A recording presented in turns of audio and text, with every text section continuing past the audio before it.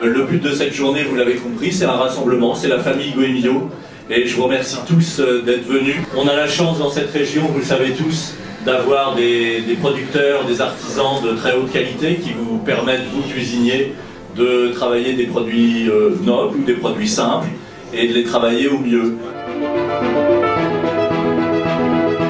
C'est une vraie fête, une vraie fête où on remet des trophées, c'est vrai, mais où en fait tout le monde est concerné parce que la famille Goemillo, elle est très étendue, elle va du, petit bistrot urbain à la- l'auberge de campagne en passant par les grandes tables et les grands chefs qui nous ont fait la- l'amitié de venir aujourd'hui.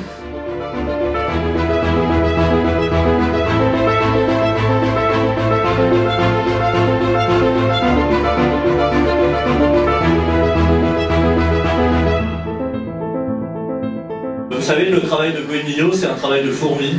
On se balade dans toute la France toute l'année euh, à la recherche euh, de jolies tables, mais aussi de très bons professionnels.